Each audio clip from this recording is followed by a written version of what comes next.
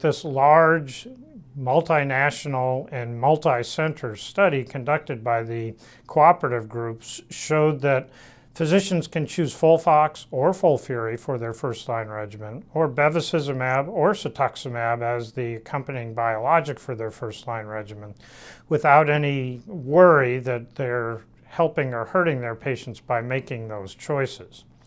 The main difference then between them is the side effect profile. Of course, irinotecan can cause some diarrhea, some nausea and vomiting, and some hair loss. Oxaliplatin can cause neutropenia, some GI side effects, as well as numbness and tingling in the fingers and toes.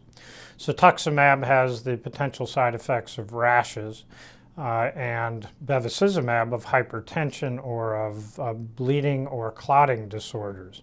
So it's a matter of which the patient and the physician feel most comfortable with in terms of making these choices. The good news is we have lots of choices, and the better news is that the median survival for this was among the longest median survivals reported in a population like this.